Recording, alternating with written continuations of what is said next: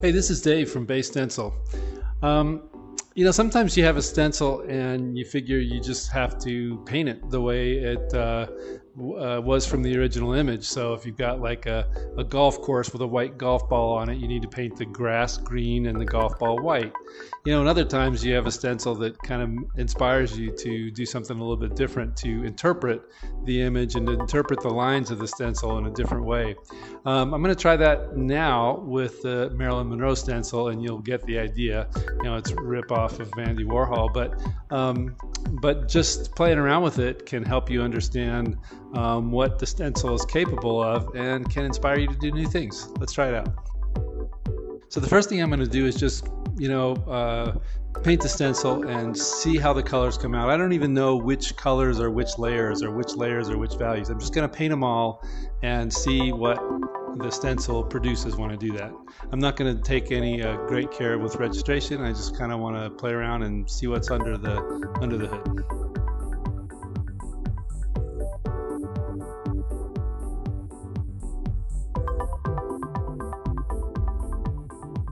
All right, I like it. Uh, it looks like a black and white postcard on the wall, and now I might want to try to do something better with it.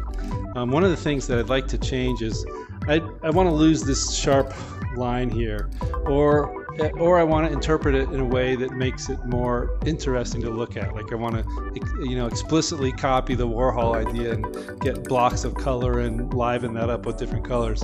I'm also, um, I I'm not really crazy about the jet black I'm below. I know that's the the idea of the image, the original image from the photographer, but I think I kind of want to play with those things, and I just don't want it to be black and white. I do have a little bit of these midtones. If I were to stencilize this again, I think I would want really clear three layers. I'd really want a nice, strong mid-tone in there. But um, I'm to play around with this because this is what I've got.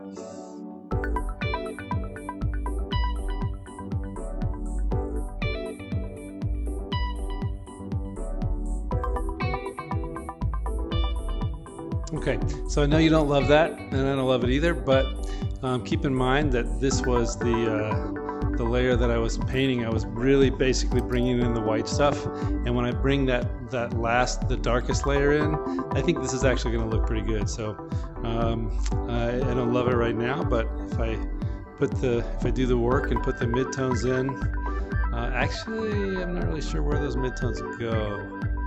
I have a feeling that they go right here.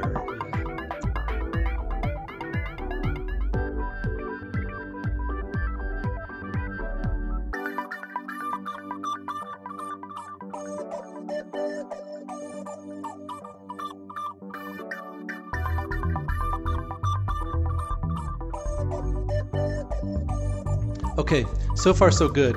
I've uh, not put in the midtones yet because the midtones aren't really the star of the show, but I have lost a little bit of the edges around the top. I would even probably do more, and I did make the lower part a little bit more interesting because I think that this uh, this uh, jet black part is just uh, I kind of lose it lose it down there. So I'd either want to maybe um, have this thing border another surface uh, or have it be sitting floating above another surface just so that I don't have that black edge sitting down there. It's very portrait portrait like. Um, the other thing is that I like the way the, the highlighting is working around the eyes. I kind of like the little bit of highlight here, but I think I would have put it on the bridge of the nose instead, and I would have done something a little bit different with the forehead. Um, let's go ahead and put in the midtones. I think we're going to see a little fill in here and here and here, and just see if that doesn't improve it. Um, notice though that we're still just basically interpreting the photo. We're still just kind of filling in the lines of the photo. We'll try to do something a little bit different next time around.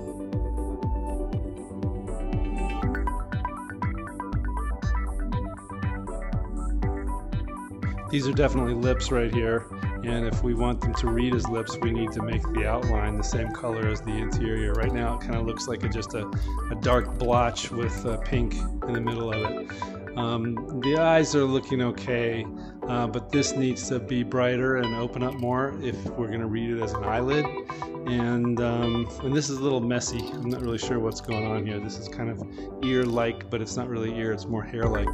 Okay, so we could fix that. Um, you know, why don't we just go ahead and, and, make this one a little bit nicer and add a little bit of red to it with um, and use the black use the black one more time.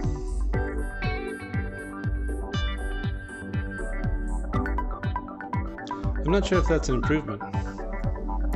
I'm going to look at it for a little bit and then decide uh, decide how to change that. Right now, I want to kind of do another one, and I want to get a little bit a little bit stranger, and um, and maybe maybe make this interpretation a little bit a little bit wider than it is here.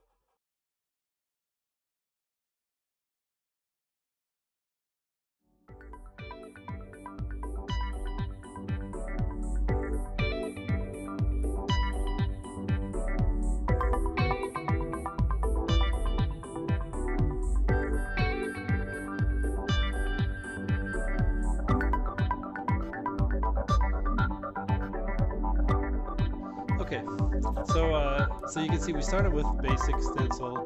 We went to um, kind of like an interesting color interpretation of the stencil. We kind of tried to do a few things around here, and then we just used the stencil kind of as a rough basis for doing something kind of a little bit different. And, and I wouldn't call it an artistic success, but but you can tell that it's different, and you can tell that it's inspired by the stencil, but it is not just the stencil. So. Um, I don't know. Uh, that's uh, that's some ideas for how you can take an ordinary stencil and make it a little bit different, make it your own. This is Dave uh, signing off from Bay Stencil.